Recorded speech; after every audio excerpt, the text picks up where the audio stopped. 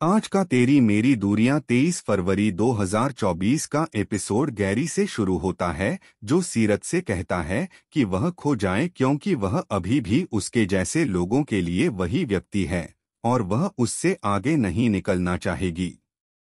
बाद में सीरत वीर से कहती है कि वह साहिबा को दवा नहीं दे सकती क्योंकि गैरी वहाँ आया था और उसे उस पर शक भी हो सकता है।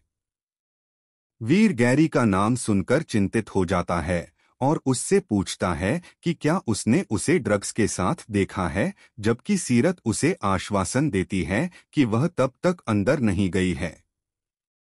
वीर को गुस्सा आता है क्योंकि साहिबा को हमेशा के लिए खत्म करने के लिए उसे ड्रग्स की आखिरी खुराक देनी होगी और सीरत से कहता है कि उन्हें एक अलग योजना बनानी होगी। वह उससे यह भी कहता है कि यह तभी संभव है जब वे अंगद को कुछ समय के लिए साहिबा से दूर भेज दें। दूसरी ओर अंगद यह सुनकर चिंतित होकर कमरे में वापस आता है कि घर में कोई नहीं आया है।